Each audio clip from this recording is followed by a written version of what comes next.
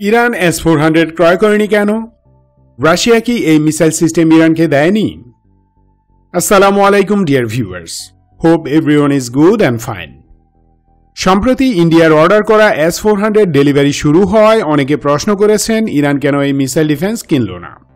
দুই হাজার উনিশ সালের একটি রিপোর্টের সূত্র ধরে অনেকে বলছেন, রাশিয়া ইরানের কাছে S four hundred air defence system বিক্রি করেনি। আসল ঘটনা কি তাই? চলুন দেখি।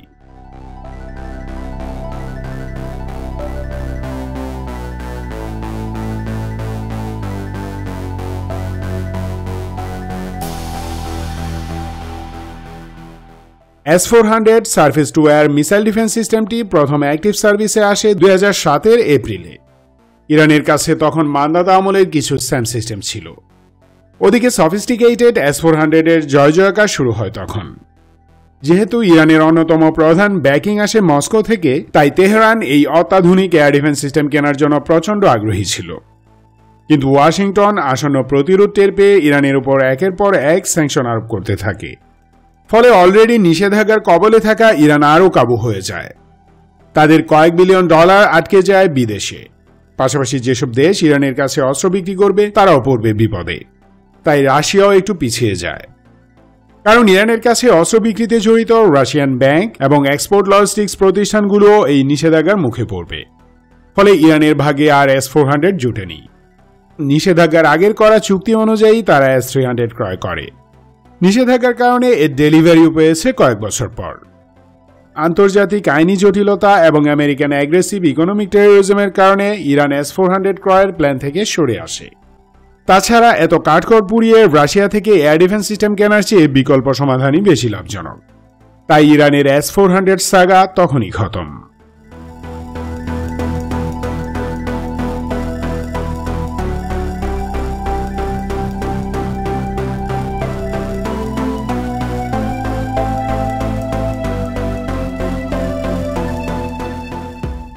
ব্লুমবার্গ দু হাজার উনিশ সালের মে মাসে একটি নিউজ রিপোর্ট প্রকাশ করে। সেখানে দাবি করা হয় যে Iran S four hundred air defence system কেনার জন্য মস্কোর কাছে অনুরোধ করেছিল। পারস্য উপসাগরে শক্তির ভারসাম্য নষ্ট হবে, রাশিয়া তাই দেয়নি। এই নিউজের প্রায় পুরোটাই বানোয়ার ইহুদি লবি সাজেশন অনুযায়ী ব্লুমবার্গ নিউজটি করেছিল। উদ্দেশ্য ইরানি জনগণের মনের রাশিয়া সম্পর্কে একটা ভুল ধারণা সৃষ্টি করা। এবং ইরানের নেতারা দেশের আলটিমেট সিকিউরিটি নিশ্চিতকরণে সম্পূর্ণ সক্ষম নয়, এমন একটা মানসিকতার জন্ম দেয়া। কিন্তু বাস্তবতা সম্পূর্ণ ভিন্ন। এস ফোর হান্ড্রেড অর্ডার করা তো দূরে রিকোয়েস্ট ফর ইনফরমেশনই ইস্যু করেনি ইরান। তখনই এই নিউজ প্রত্যাখ্যান করা হয়। এমনকি গত বছর অক্টোবরেও তেহরানে নিযুক্ত রাশিয়ান অ্যাম্বাসেডর এই নিউজকে মিথ্যা বলেও উড়িয়ে দেন। তিনি এও বলেন যে ইরান যদি সত্যি এস ফোর হান্ড্রেড কিনতে চায়, তবে মস্কোর তাতে কোনো সমস্যা নেই। পাশাপাশি গত নভেম্বরে মস্কোতে নিযুক্ত ইরানিয়ান অ্যাম্বাসাডর বলেন, তারা এস ফোর হান্ড্রেড ক্রয়ের জন্য রাশিয়াকে রিকোয়েস্ট করেননি। তার এই বক্তব্যের পর রাশিয়ান ডেপুটি প্রাইম মিনিস্টারও একই কথা বলেন। সো, রাশিয়া ইরানের কাছে S four hundred triumph air defence system বিক্রি করেনি, এটি আসলে মিথ্যে।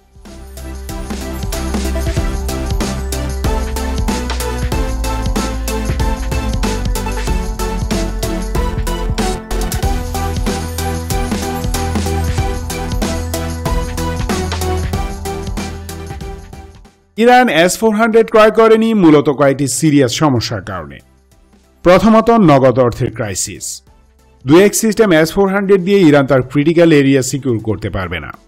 অন্তত চার রেজিমেন্ট সিস্টেম দরকার, যার মূল্য চার থেকে চার দশমিক তিন বিলিয়ন ডলার মার্কিন ও জাতিসংঘ নিষেধাজ্ঞায় জর্জরিত ইরানের কাছে এত নগদ অর্থ নেই বা যা আছে, সেগুলো তাদের জরুরি কাজে প্রয়োজন।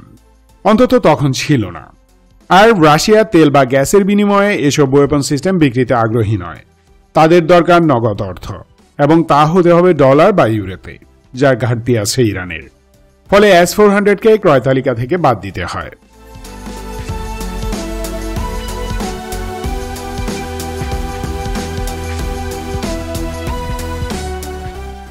দ্বিতীয়ত বৈদেশিক লেনদেন এবং এক্সপোর্ট মানির নিরাপত্তার জন্য ইরান বাড়তি কোনো ঝুঁকি নেয়নি।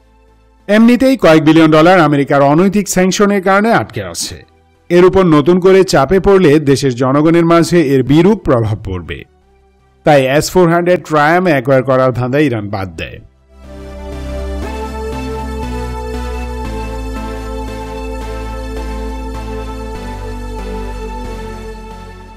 তৃতীয়ত, বিকল্প হিসেবে ইরান নিজেই কয়েকটি advanced air defence system develop করে, কারণ এটি ছিল সবচেয়ে ভালো অপশন গত দশ বছরে Iran short, medium and medium to long range air defence system ডেভেলপমেন্টের রীতিমতো চমক দেখিয়েছে। ভারত এত সুযোগ পেয়েও কার্যকর একটা এয়ার ডিফেন্স সিস্টেম একা ডেভেলপ করতে পারেনি, কিন্তু ইরান করে দেখিয়েছে। বিভিন্ন রেঞ্জের অন্তত দশটি অ্যাডভান্সড এয়ার ডিফেন্স সিস্টেম তৈরি করেছে ইরান, এবং তার চমক আমরা অলরেডি দেখেছি।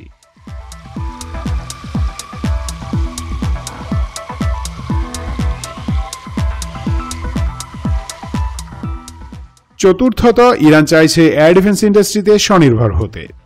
এখনই যদি লং রেঞ্জ এয়ার ডিফেন্স তৈরির জন্য একাধিক প্রজেক্ট শুরু করে, তবে দু হাজার তেইশ সাল নাগাদ তারা একটা সন্তোষজনক পর্যায়ে যেতে পারবে। তাছাড়া বিদেশ থেকে আমদানি করা এয়ার ডিফেন্স সিস্টেমসের স্পেয়ার পার্টস ও স্পেয়ার মিসাইলের নিরবচ্ছিন্ন সাপ্লাই একটি মহা গুরুত্বপূর্ণ ইস্যু অল আউট যুদ্ধের সময় যদি ইন্টারসেপ্টর মিসাইলের স্টক ফুরিয়ে যায়, তবে রাশিয়া থেকে আবার ইম্পোর্ট করতে হবে। ট্রান্সপোর্টের সময় শত্রু সেই সাপ্লাইয়ের উপর আক্রমণ করলে তা হারাতে হবে। বিপদ তখন ডাবল হয়ে দেখা দিবে। সো, সময় থাকতেই কাজে নেমে পড়া বুদ্ধিমানের কাজ। ইরান তাই করেছে।